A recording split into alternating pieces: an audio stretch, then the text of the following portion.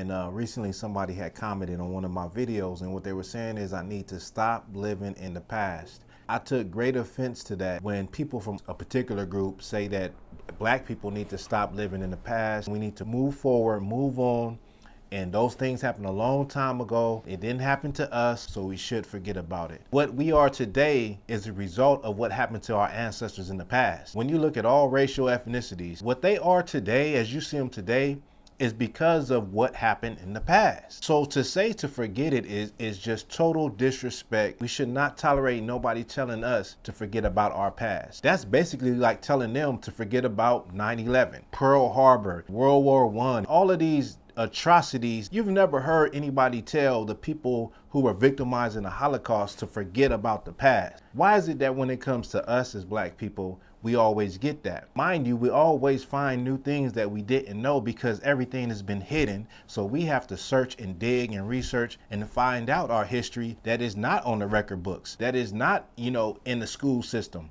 So I just found it real ironic that the same people that remember their past events would tell us that we should forget about our past. We don't know where we're going if we don't know where we've been. The past is the key to unlock our future. You out your goddamn mind if you think I'm going to forget about my ancestors and the people that came before me that laid it down, that went through the trauma, that went through all of the, the events, that went through all the things before me. I will never forget those people.